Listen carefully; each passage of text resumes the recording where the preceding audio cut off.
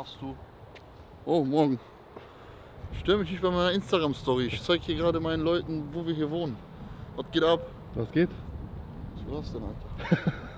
So ein Blatt. Ja, wir gehen jetzt erstmal einkaufen. Wir haben noch nichts gegessen. Es ist 8 Uhr. Bisschen frisch, ne? Stimmt, dass gerade ich ist noch frisch. einfach nur kurz Sachen dabei. Ich habe irgendwie nur zwei T-Shirts da, sonst, sonst so Tanktops. Ja, wir gehen einkaufen. Frühst nee, Frühstücken, einkaufen, suchen uns ein Gym. Da ist der zweite Verdächtige mit dem Pflaster auf der Stirn. Also, also zwei Leute, ja. Drei Leute. Hier. Du musst immer übertreiben, sonst fängt es Nee, es war- es waren drei Leute. Zwei waren im Auto und der eine wollte einsteigen. Er hat die Tür aufgemacht und hat die Tür sich voll gegen die Stirn geknallt. Das ist der Verdächtige. So, wir sind auch bei BMW geblieben. Ja, die wollten uns einen Cadillac geben, also in derselben Preiskategorie, aber ich habe mir gedacht, dass ich selber BMW fahre und dass hier alles genauso aussieht wie in meinem Auto. Und Johnny, hast du eine Rutsche für dich Rutschenpark? I want some eggs. Ex Some your way. Omelets, Western, Cheesesteak, Ham and Cheese, Waffles. Paninis gibt's auch. Salads. Also Create your combos. Hier, guck mal, das ist Lunch, nee, Lunch ist nicht. Hör mal, So wir funktioniert haben es. eine Message an Heiko, äh, von Heiko. Jo William, ich wünsche euch da auch viel Spaß da drüben. Habe ich mich ehrlich gefreut gestern, dass er dann nicht gedacht hat. Ich wäre ja, der Witz ist, ich wäre echt auf drüben, weil Uwe hat äh, kurzfristig gesagt, dass wir rüberfliegen. Aber das Ding habe ich abgesagt. Einfach weil er mit Hollywood Matze da was machen wollte. Und, und ich habe gesagt, mit dem Dreh, mit dem Dreh eigentlich auch gar nicht unterwegs sein, aber das nur unter uns. Ne? Unter Ja, uns. deswegen habe ich das Ding abgesagt, sonst hätten wir uns da echt gesehen. Schade. Johnny sich nicht zu sehr zum Vollfotzen. Und, äh, wie gesagt, viel Spaß da drüben. Schwanzfresse hier. Ich grüße dich, Heiko. Ich werde hier zur richtigen Sau, sag ich dir. Ich, ich, ich, ich gehe zur nächsten Apotheke und dann, dann hole ich mir qualitätssteigende Supplements für meine Libido und für meine Spermienqualität. Heiko, danke dir für die nette Nachricht. Jetzt weiß ich auch, warum jedes Frühstück knapp 1500 Kalorien hat. Guck dir mal dieses Omelett an. Ich weiß nicht, ob das auf Kamera so rüberkommt. Was ist das für ein Apparello, Alter? Das sollen drei Eier sein, ne? Ich habe hier noch ein bisschen Chicken on top. Wir auch ein bisschen auf Proteine kommen. Das sind doch keine drei Eier. Das sind niemals drei Eier, Alter. Drei Straußeneier. Wer weiß, das ist deine, deine Spezie. Kannst du nicht einmal auch mal normal bleiben, Johnny? Bist halt eine kleine Fotze, ne? Damals auf dem Kiez gab es erstmal einen Slap. Bruder, halt's doch nicht so nah ran. Wie soll ich das Erstmal, bei uns auf dem Kiez gab es damals erstmal eine Rückhandschelle hier. Das Stabilste an dir sind deine Segelohren hier. so guckt Heiko, wenn er wütend ist. Was ist denn? Damals haben die alles reingeknallt. Das letzte, wo ich in L.A. war, bin ich für ein paar Tage einkaufen, jeden Tag einkaufen, ist scheiße. Denkt nur einer? Nee, das ist ein Kackwagen. Nur, nur die Vorderräder lenken. Völlig überfordert, aber ich habe hier was Geiles gefunden. Ich hoffe nur, dass es funktioniert. So einen tragbaren 15 Zoll Monitor. Ist perfekt für mein Streaming-Equipment. Vor allem dann, ich wollte eigentlich einen Monitor hier kaufen, so einen 24 Zoll und den dann einfach hier lassen. Was natürlich schade wäre, weil das kostet alles Geld. Hier für 200 Dollar hast du einen tragbaren und den kann ich dann überall, egal wo ich bin, auf Reisen immer mitnehmen. Mit Laptop verbinden, zwei Screens, perfekt für Twitch. Sollen wir was sehen, René? Ja. Vorsicht auf deinen Kopf. Was hast du gekauft, Junge? Ich dachte, du bleibst so eine Woche. Das ist für die ganze Woche. Bisschen lauter reden. Ist für eine ganze Woche! Okay, packen wir ein Ja, und dann geht's äh, Stream zum Einrichten. Korrekt. Ja, an der Stelle, Freunde, keine guten Nachrichten, keine guten Neuigkeiten. Der Drittplatzierte im Open Heavyweight bei Mr. Olympia 2022, Nick Walker, den wirklich viele dieses Jahr wieder erneut in der Top 3 gesehen haben, hat sich verletzt und wird dieses Jahr, also jetzt am kommenden Wochenende, nicht teilnehmen bei Mr. Olympia. Wir gucken uns jetzt sein Statement zur Verletzung an.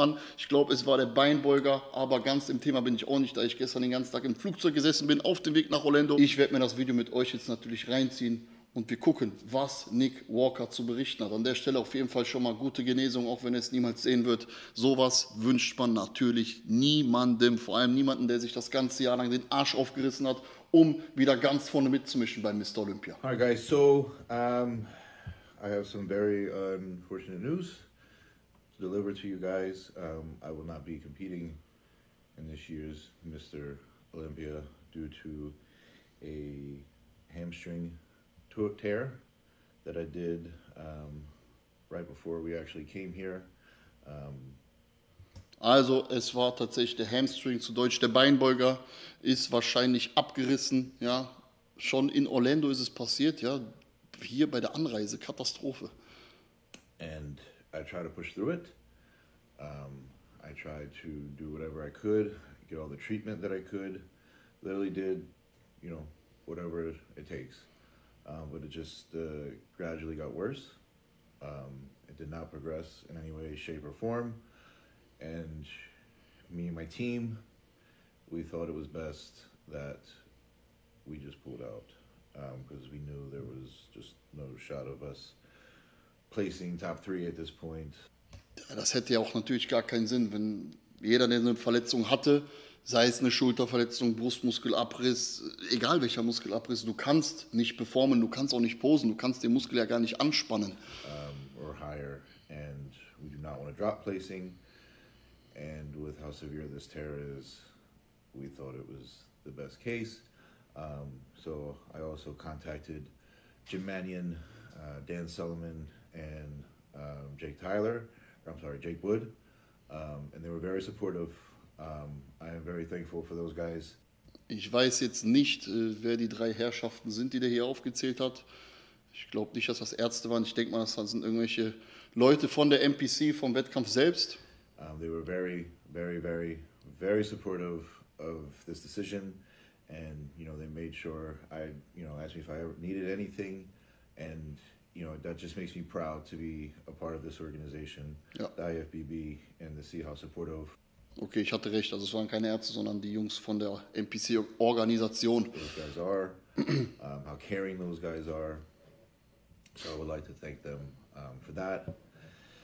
Uh, you know, that being said, um, this was a very hard decision to make. You know, because this prep was very smooth. It was very easy, to be honest. Oh nein, Mann, der Arme, ich krieg grad Gänsehaut, weil ich weiß ganz genau, wie sich das anfühlt. Es ist jetzt natürlich in keiner Relation zu vergleichen, aber die treuen Follower, die mich schon lange verfolgen, kennen meine Geschichte mit meinem allerletzten Wettkampf, wo ich nach Warschau gefahren bin. Ich will jetzt auch nicht zu viel von mir reden. Ich konnte einfach einen Tag vom Wettkampf, habe ich 40 Grad Fieber bekommen und habe mich genauso gefühlt, habe auch so ein Statement in der Story gemacht und mir sind tatsächlich auch die Tränen gekommen. Ich konnte darüber nicht reden. Es hat mich auch wirklich wochenlang noch verfolgt, weil man reißt sich das ganze Jahr lang den Arsch auf, bringt das beste Paket und kann wegen gesundheitlichen Gründen, aus gesundheitlichen Gründen nicht starten. Das ist ganz, ganz bitter. I kept telling Matt every day, Scheiße. I'm gonna win your first one. And then, you know, last second this happens. And it just it just sucks 'cause you don't know what to do. But, you know, if I know myself, there's just another reason for me to come back stronger, another reason to come back better. And um, that's what I'll do. Vor allem hatte er schon die Quali in der Tasche gehabt. Ne? Der ist äh, Top 3 Platzierungen, haben die Quali schon. Er musste sich nicht qualifizieren. Das heißt, er hat wirklich das gesamte Jahr lang für diesen Tag, der jetzt am kommenden Wochenende ist, hinaus hingearbeitet. Und ja, kann einfach nicht mitmachen. Das Wichtigste ist jetzt natürlich, dass er mental stark bleibt. Ja, wir wissen, viele Bodybuilder haben ist nun mal so eine wirklich schwache Psyche, was das angeht. Egal wie groß sie erscheinen, innerlich ist das immer ein weicher, weicher Kern. Bei den meisten Bodybuildern sind auch meistens sehr sensibel und er darf jetzt auf keinen Fall in ein Loch fallen. Ja, er muss jetzt mental wirklich stark bleiben, damit er in kein Loch fällt. You know, I also want to thank Maria. Because honestly, if she wasn't around, I probably wouldn't have even made it here. I probably would have called it quits already. And she was a huge part of that for me. So I'm very thankful to have the girl that I have by my side. But if Ich hoffe, dass die Freundin oder Frau ihn auch auf jeden Fall dort mental unterstützen wird und die ganze Zeit bei ihm bleibt in der Situation. Ne? I learned anything from this is anything can happen at any given second. But it's it's how you handle it. It's what you do that defines who you are and the character you will become. And anyone who knows me knows I always come back stronger and I come back better. And that's exactly what I'm going to do once I heal. And, you know, I just want to say thank you guys for all the support, for all the love that you guys have shared throughout this whole prep. And um, you know, I, I will be here the whole weekend. Obviously, you know, I will try to be at the expo the best as I can, and uh, make this weekend for you guys. So Also er ist auf jeden Fall noch vor Ort, auch bei der Expo und ist auch für seine Fans und Supporter am Start. Ich denke mal, das wird ihm auch aufraffen, aufraffen. Das wird jetzt auch wichtig sein, dass er mit seiner Community reden wird, dass viele werden vor Ort sein, viele werden ihm natürlich Mut zusprechen, ihm Zuspruch geben, dass er halt in kein Loch fällt. Aber er hat ja selber schon gesagt, ja, er kommt stärker zurück und selbst wie, ist auch ein doofer Vergleich, Schwarzwald John war ja bei uns letzte Woche im Stream, er hat ja auch eine extreme Knieverletzung, konnte monatelang gar nicht richtig laufen und er hat gesagt, alles passiert aus irgendeinem Grund. Vielleicht musste das ja genau so sein, vielleicht musste das so passieren, ist jetzt, wenn man so sich das anhört, denkt man sich, okay, was labert der jetzt eigentlich, das musste auf keinen Fall passieren, aber vielleicht, es gibt ja diesen Spruch, nichts passiert ohne Grund, vielleicht musste das so passieren, vielleicht kommt er wirklich noch besser zurück, aber ich finde das einfach, ich bin absolut, die, die mich verfolgen, ich bin gar kein Nick Walker-Fan, mir gefällt seine Physik nicht, aber das hat nichts damit zu tun. Ich wünsche so eine Verletzung niemanden, ja, vor allem nicht auf dem Niveau. Und das ist, Bodybuilding ist natürlich auch irgendwo Geschmackssache, Freunde, aber das ist wirklich fatal. Der tut mir vom Herzen, mir tut das vom Herzen leid, Alter. stop by. I'll probably be at the HD Muscle booth, sitting probably. Um, Scheiße. but thank you guys, and uh, make sure we'll be better. Ganz, ganz, ganz, ganz, ganz düster hier mit Nick Walker. Also es tut mir wirklich sehr, sehr leid für ihn. Ich wünsche ihm vom Herzen nur das Beste, dass er schnell auf die Beine kommt, dass er schnell wieder genesen sein wird. Aber ich denke mal, hier in den USA haben die Ärzte auch, vor allem wenn man Profisportler ist, wird er mit den besten Ärzten, sein Sponsor wird ihn da, denke ich mal, auch unter die Arme greifen, wird er mit den besten Ärzten und Rehabilitationstechniken arbeiten, sodass er wieder schnell auf die Beine kommt. Wie gesagt, wir wünschen ihm nur das Beste. Ich hoffe, meine Community natürlich auch. Haut wie immer eure Meinung zu dem Thema in die Kommentare, auch wenn man da eigentlich nichts anderes schreiben kann, außer gute Besserungswünsche. Ja, das war's mit einer kurzen News-Reaction hier. Diesmal leider nichts Lustiges, sondern eher ein trauriges Thema. Und ich würde sagen, wir bleiben auf dem Laufenden live aus Orlando. Das war natürlich noch nicht alles. Wir machen jetzt noch eine kleine Roomtour. Klein? Ich glaube nicht, es wird nämlich ganz, ganz groß. Wir sind zwar nur drei Personen. Johnny Münster ist am Start, der Kameramann und meine Wenigkeit. Also, hier ist der Eingangsbereich. Wir machen das jetzt ganz zügig, weil sonst äh, dauert äh, diese Roomtour, denke ich mal, eine Stunde. Hier ist der Eingangsbereich. Hier haben wir das erste Schlafzimmer. Schläft hier eigentlich einer? Nee, ne? Ich glaube nicht. Johnnys Ablagezimmer. Johnnys Ablagezimmer. So, da haben wir das erste Bad. Oh, Entschuldigung. Das erste Badezimmer, ich mach mal zu. Dann haben wir überall so Abstellkammern. Kommen wir zum großen Wohnbereich. Mit einer riesen amerikanischen Küche. Wir haben uns auch schon hier gut eingerüstet. Natürlich haben wir einen großen Esstisch, ja, wo man zu zweit dann oder zu dritt gegebenenfalls sitzen und essen kann. Unsere Supplements, ja, der Rest wird noch nachgeliefert. Ganz, ganz wichtig, Freunde, der Crank Olympia Edition Grizzly Punch werden wir gleich auf jeden Fall vor dem Training nochmal schlürfen. Und wir haben natürlich fette, fette Rabatte diese Woche bei ESN. Passend zur Olympia, checkt auf jeden Fall alles aus. Gibt 30% auf die Booster und 25% auf alle Bestseller. So, weiter geht's. Küche, ein paar Einkäufe haben wir gemacht. Kühlschrank ist auch prall gefüllt mit irgendwelchen Sachen. Hier zum Beispiel so Sachen, die es bei uns nicht gibt. Gatorade Zero und hast du nicht gesehen. Also Johnny hat hier für 400 Dollar hat der Lebensmittel eingekauft. Ich weiß gar nicht wie und wann er das alles essen möchte. Haben wir hier noch einen kleinen Wohnbereich. Ja, das, das ist das Geilste eigentlich. Der Pool, in dem ich noch nicht drin war, mit einem schönen Gasgrill. Ich werde da auf jeden Fall später mal reinjumpen. Und heute ist ein bisschen frisch, aber ne? Hier ist auch noch was. Da ist auch noch ein Badezimmer drin. Auch noch ein Badezimmer. Oh, sorry, Digga. Ja, also wir haben überall ganz viele Klos. Weiter geht's.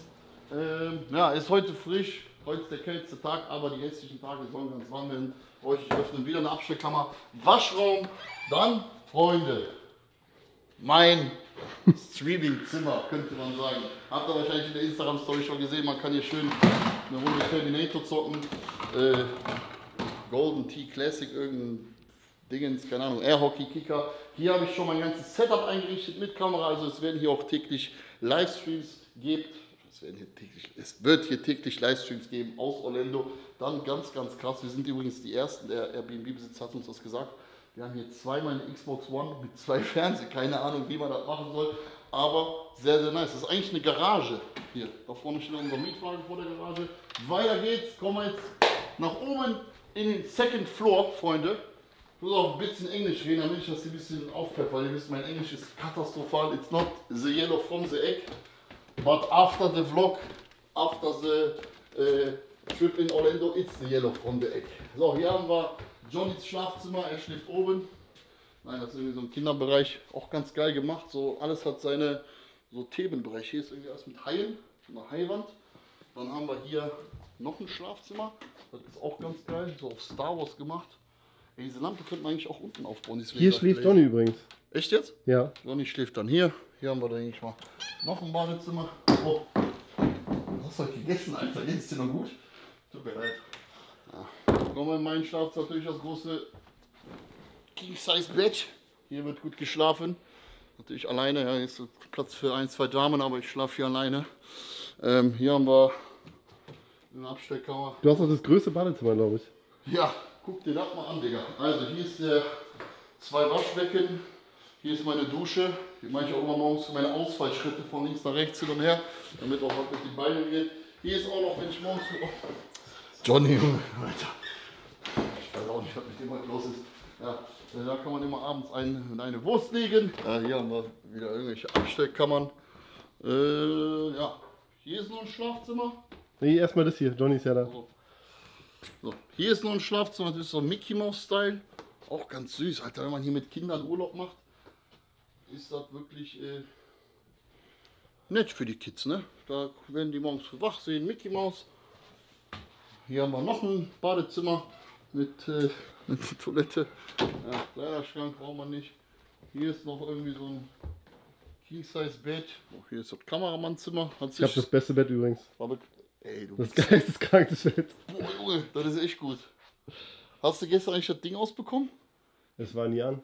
Aber Ja, es geht an dem Schalter. Ja, ich wusste, dass ich wieder hochgeklettert habe, die ganze Zeit an diesem Ding hier Bist du gezogen. rangekommen? Normal, ich bin NBA-Player. Oh. ja, und hier haben wir noch ein, ja ganz klar, ist wieder am Abwischen und eine kleine Dusche. Ja, und ich würde mal sagen, das war's mit unserem kleinen, aber feinen Airbnb.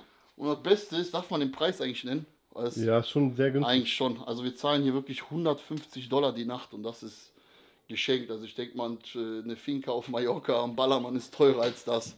So, das war's, denke ich mal, mit der Roomtour. Kannst du aber dieses Mal anklopfen, wenn du einfach irgendwo Toilette? Haben wir überhaupt noch, haben wir noch Klopapier oder hast du alles aufgebraucht?